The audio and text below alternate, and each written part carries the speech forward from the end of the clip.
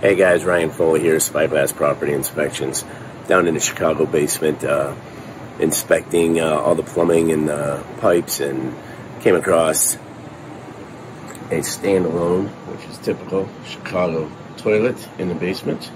But also, when you come, you can see we have a 9 by 9 tile, which is most likely an asbestos-like tile.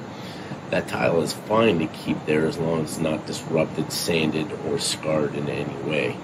We also come down and start looking at some of the piping, and you're going to see an asbestos-like wrap on a lot of the piping. Once again, nothing wrong with asbestos as long as you're not removing it and becoming uh, airborne. Little tip from Spyglass Property Inspections. We can be reached at www.spyglassinspections.net. Thanks.